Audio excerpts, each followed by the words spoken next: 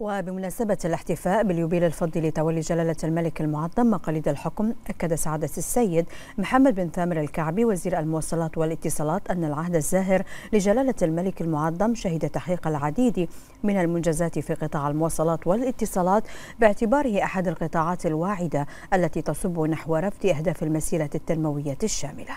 طبعا في العهد الزاهر لحضرة صاحب الجلالة الملك حمد بن عيسى آل خليفة وبمناسبة اليوبيل الفضي يسعدنا بداية يعني أن نشيد بما تحقق من إنجازات كبيرة خلال هذا العهد الزاهر وخاصة فيما يتعلق بوزارة المواصلات والاتصالات.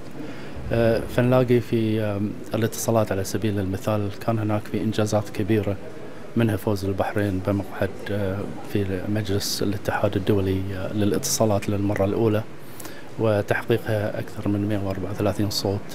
وهذا إنجاز نفخر فيه. أيضا البحرين احتلت المركز السابع عالميا في مؤشر تقنية المعلومات والاتصالات والثالث عربيا. وهذا دليل على ما تبذل الحكومة من جهود كبيرة في تطوير هذا القطاع الهام والحيوي واللي هو في الواقع يدعم نمو الاقتصاد الوطني بشكل كبير.